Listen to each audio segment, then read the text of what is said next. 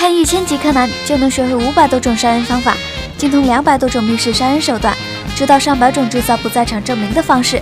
印度就有这么一个神人，虽然只读到四年级就辍学，但仅通过电影学习的技巧，犯法了警察都拿他没办法。杰哥是犯罪电影的狂热发烧友，他还有两个女儿，大女儿被同班的官二代盯上了，偷拍了大女儿洗澡的视频，威胁她，要她以身相许。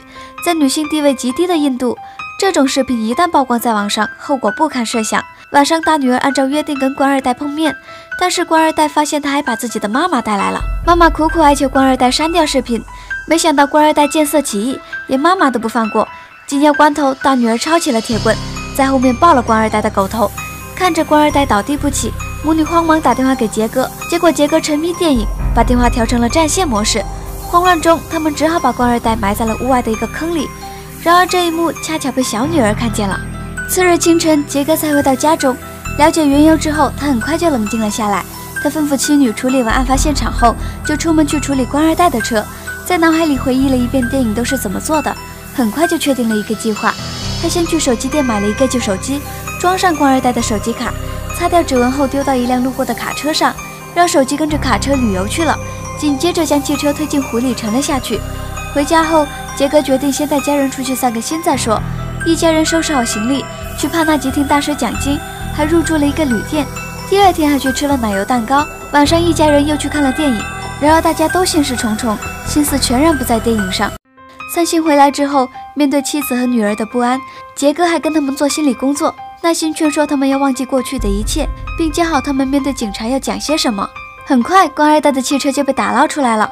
这件事闹得很大，因为这个失踪的官二代，爸爸是监察长，妈妈也是个高官，儿子失踪，他们十分着急，手下人也不敢怠慢。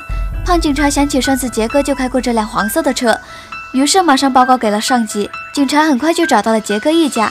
官二代失踪的那天是二号晚上，于是警察逐个盘问杰哥一家，但每个人的回答都是二号去帕纳吉听了经，三号去买了奶油面包，然后看了电影，并且车票、电影票什么的都很齐全，这就是完美的不在场证明。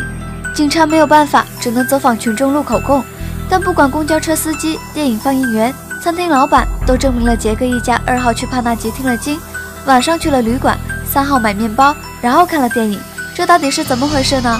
原来人的记忆是可以出错的，而杰哥就是利用了这一点，让群众为他做了假证而不自知。二号杀死了官二代，三号杰哥独自一人去帕纳吉，用假名入住旅馆，并在住宿登记表二号那一页上写上自己的名字。之后买了奶油面包，拿了票据，买了三张电影票，三张回程车票。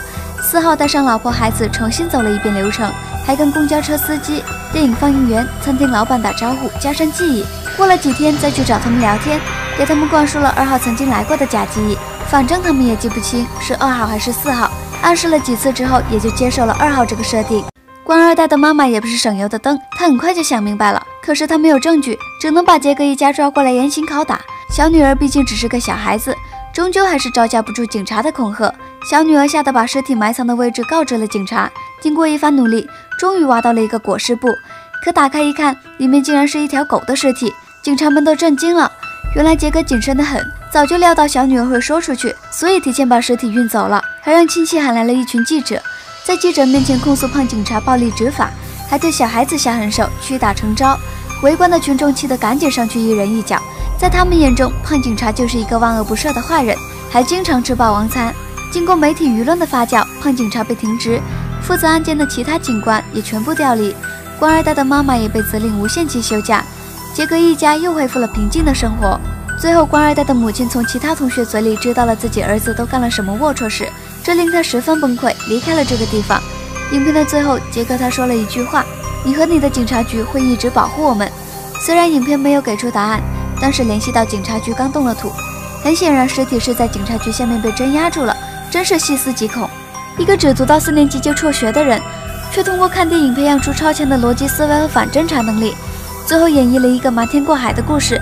今天的故事就讲到这里，关注我，带你变强哦。